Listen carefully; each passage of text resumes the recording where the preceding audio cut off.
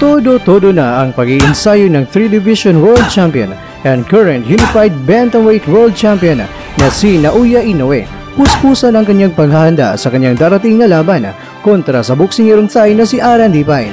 Habang si Raymart Gabalio naman mga kakwento ay nagpamalas din ng kanyang kakaibang bilis lalong-lalo na na ang kanyang makakalaban ay tinaguriang The Filipino Flash kaya susubukan niyang pantayan o higitan ang bilis ni Nonito Donaire Jr. Pero bago tayo magpapatuloy, huwag mo sanang kalimutan na gawin ito. Please subscribe to Kwentong Iba na Kwento. Alright. Like, share, and subscribe.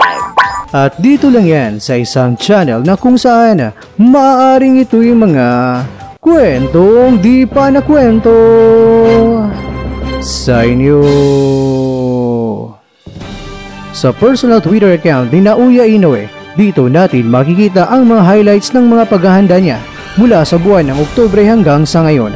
Dito mga kakwento ay makikita natin na si Nauya ay nakikipagsabayan siya kay Takuma Inoue.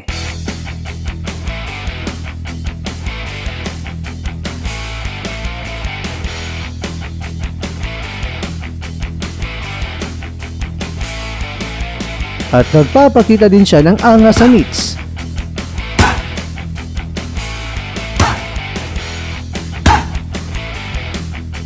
nagpamalas ng hand speed at ang kanyang pagpapabilis sa kanyang side-to-side -side movements.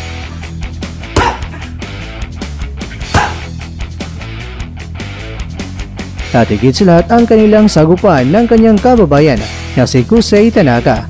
Pero sa mukha ni Naoya Inoue pagkatapos ng kanilang laban ay dito natin mababatid kung ano nga ba ang storya ng kanilang sparring. Samot-sari naman ang mga reaksyon ng mga netizens sa panahong nakita nila ang larawang ito.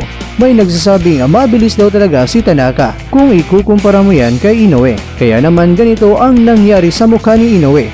Kahit pa may headgear ito sa kanilang sparring at makikita rin daw na ang kanyang katawan ay lumalapad at lumalaki na. At pagkangaraw ay aakyat na ito ng timbang.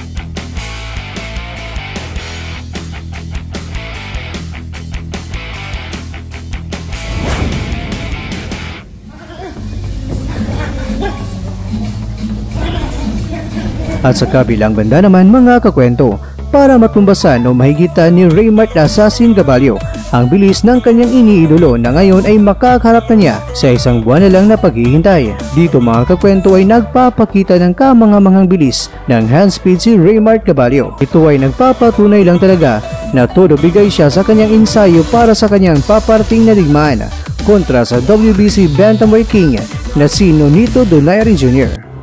Mga kakwento, Isang buwan na lang ang ating hihintayin para makita naman natin muli sa ibabaw ng ring ang mga Bantamweight Kings. Kanya-kanya silang didepensahan ang trono na kanilang inuupuan pero sino kaya ang magtatagumpay sa kanila? May trono kayang mapapalitan ng challenger? Ang kasagutan ay malapit na malapit na natin yan malalaman.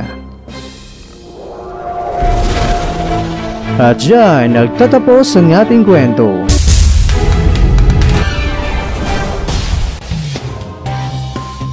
Maraming maraming salamat mga kwento sa inyong panonood. Pero bago tayo magtatapos ay mega mega loud shoutout muna sa ating mga sulit na mga kakwento dyan. Kakwentong Ronnie Corillo, Kakwentong Elmer Cipres, Kakwentong Eli Burias, Kakwentong Eric Ilan, Kakwentong Ariel Ismiria, Kakwentong Carlito Adlawan. Sinabi niya dito mga kakwento, Nasaludo ako sa iyo mag-commentator na mamagitan ka hindi katulad ng ibang vlogger, one-sided, magaling. Kung ganon ay lubos ko pong ikinagagalak yan kakwento at maraming maraming salamat sa iyo. Bueno hanggang dito na lang muna ang ating kwentuhan at kita-kita lang tayo sa next video ko. Kaya paalam muna sa ngayon at hanggang sa muli.